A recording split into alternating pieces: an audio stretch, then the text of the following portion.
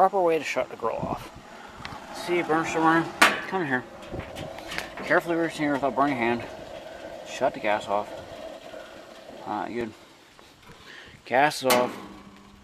And let's see, still going, flames out. And shut off. Keep the lid open so it cools. Give it like 20 minutes to be cool. You put it away.